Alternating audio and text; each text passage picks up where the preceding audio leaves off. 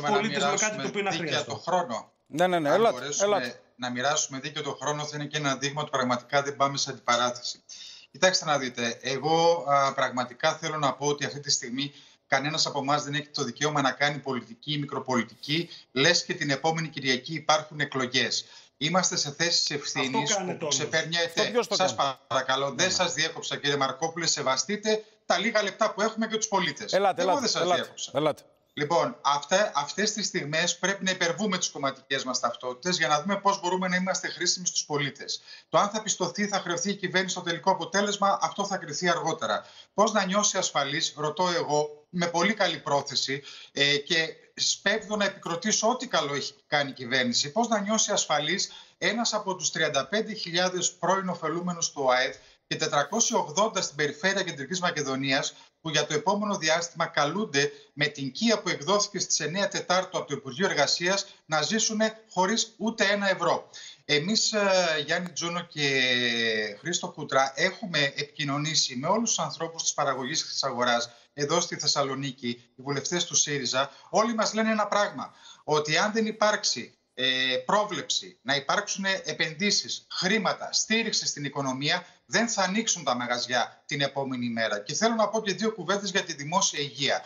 Υπάρχει η αναγκαιότητα να στηριχθούν τα περιφερειακά κέντρα, τα αγροτικά ιατρία. Δεν σας το λέω ως αντιπολίτευση ΣΥΡΙΖΑ. Δεν θα πέσω στην παγίδα α, να δώσω παραστάσεις τύπου Γεωργιάδη για να μην γίνουμε 300 κιλά. Σας το λέω ως έκκληση. Τα περιφερειακά και αγροτικά ιατρία, τα οποία ήταν και υποστελεχωμένα και έχουν προβλήματα υποδομών, πρέπει να ενισχυθούν ως ανάχωμα για τα νοσοκομεία που Η α, λύση, κύριε σπορούν Γιαννούλη, το η μεγάλο λύση, κύριε βάρος. Γιαννούλη, για να Κύριε απαντήσει Μαρκόπουλε, συνολικά ο σας κύριος παρακαλώ. Μαρκόπουλος. Ε, η λύση, Α, κύριε συγγνώμη, Γιαννούλη, είναι συγγνώμη. να δώσουμε, η λύση, κύριε Γιαννούλη, είναι να δώσουμε όσα χρήματα διαθέτει αυτή τη στιγμή η χώρα και Να να, σας μην ξέρουμε τι θα απαντήσω κάνουμε γιατί. την επόμενη μέρα. Ναι, ελάτε. Να σας απαντήσω γιατί, με πολύ μεγάλη ειλικρίνεια. Ναι. Γιατί αν δεν το κάνουμε τώρα, ο λογαριασμός την επόμενη, ε, στην επόμενη κρίσιμη στιγμή θα είναι τριπλάσιος, κύριε Τζούνο. Και αυτό πρέπει να το καταλάβει και η κυβέρνηση, ότι δεν επενδύουμε σε σπατάλη. Επενδύουμε στο ότι αυτή η κοινωνία δεν μπορεί να ξαναζήσει μέσα σε 10 χρόνια συνθήκες άκρατης, ακραίας, ανερ, ε, απίστευτης ε, χρεοκοπίας. Δεν αντέχει η κοινωνία να το ξαναζήσει. Ό,τι και αν χρειαστεί αυτό είναι Ναι. εθνικός στόχος. Κύριε Μαρκόπουλε, Ο ΣΥΡΙΖΑ, κύριε Τσούνε, έχουν, έχει δοκιμαστεί σε ό,τι αφορά τη διαχείριση κρίσεων Α, όταν, καλά ήταν πάλι στην, σε... κυβε- Οκ. όταν ήταν στην κυβέρνηση. Έχει δοκιμαστεί. Αυτή τη στιγμή δοκιμάζεται τη Νέα Δημοκρατία. Ο πολίτης καταλαβαίνει, κρίνει, βλέπει. Δεν χρειάζονται, πολύ σωστά είπε ο συνάδελφος ο κ. Γιαννούλης, δεν χρειάζονται ούτε φωνές, ούτε άρθρα σαν του κυρίου Καρτερού που κάθε τρεις και λίγο, όπως και τη Αυγής ή τη Εφημερίδα των Συντακτών, Μάστι που έπεστε, κύριε καθημερινά συνάδελφε. κάνουν Αυτό αντιπολίτευση για απαντάτε. την αντιπολίτευση. Αυτό απαντάτε Κα- σε αυτόν που δεν θα έχει ένα εξελίσσεται- ευρώ για τα επόμενα Κύριε Γιαννούλη, ε, κύριε για τις Γιαννούλη, επόμενες δεν σας εβδομάδες. διέκοψα, Αυτό απαντάτε. δεν σας διέκοψα.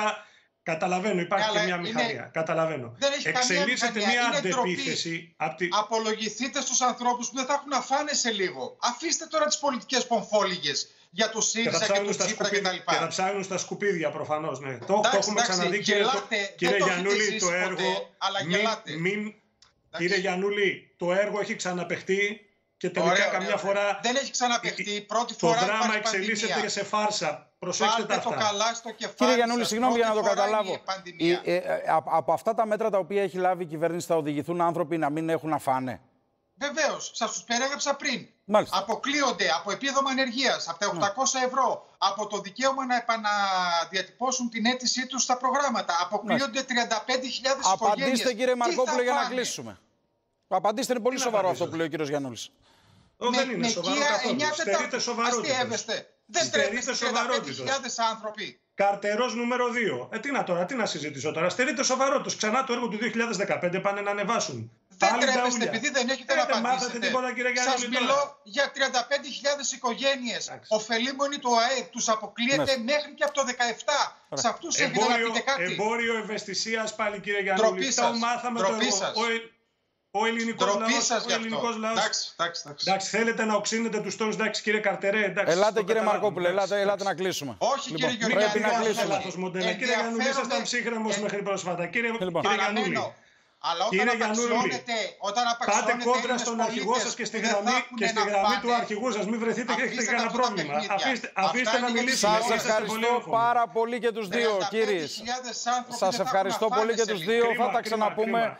Και τις Ο λαός επόμενες... θέλει κάτι, ε, κάτι, κύριε Ενσούνο, με συγχωρείτε, μισό Ναι, ναι. δευτερόλεπτο, επειδή δεν, δεν Ελάτε. τοποθετήθηκα με τις κραυγές του κυρίου Γιαννουλή. Ο λαός θέλει Δεν κάτι είναι διαφορετικό κραυγές, από αυτό είναι που. κραυγή αγωνίας, κύριε Από- Μαρκάκη. Δεν έχω το άλλο έχετε χρόνο. Σας ζήσει. παρακαλώ, σας παρακαλώ. Ο λαός Δεν θέλει το κάτι έχετε πολύ ζήσει. διαφορετικό από αυτό που παρουσίασε ο κύριος ναι. Γιαννούλης πριν από λίγο. Θέλει ψυχραιμία. Να είστε καλά αντιμετώπιση και οι και δύο. νυφαλιότητα. Σας ευχαριστώ πάρα πολύ. Λοιπόν, σε αυτό το σημείο...